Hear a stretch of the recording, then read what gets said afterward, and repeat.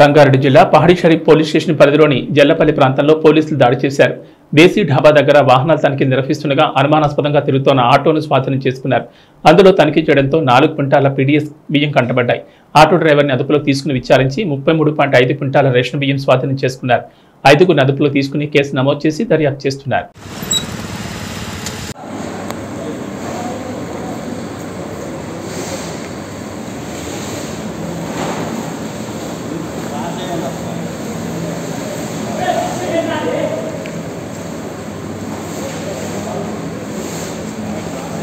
ए चलो जरा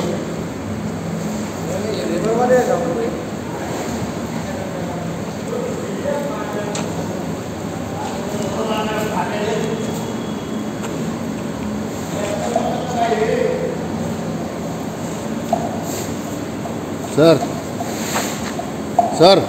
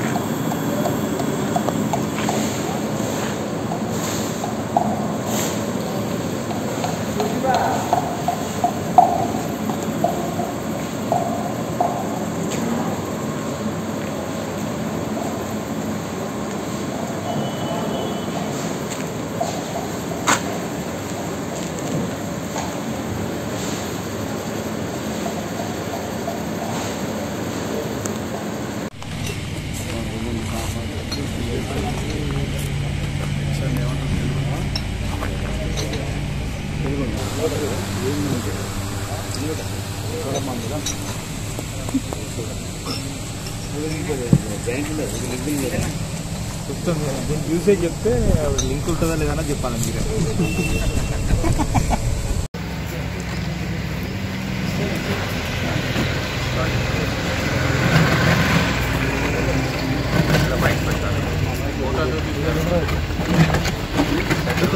दुखी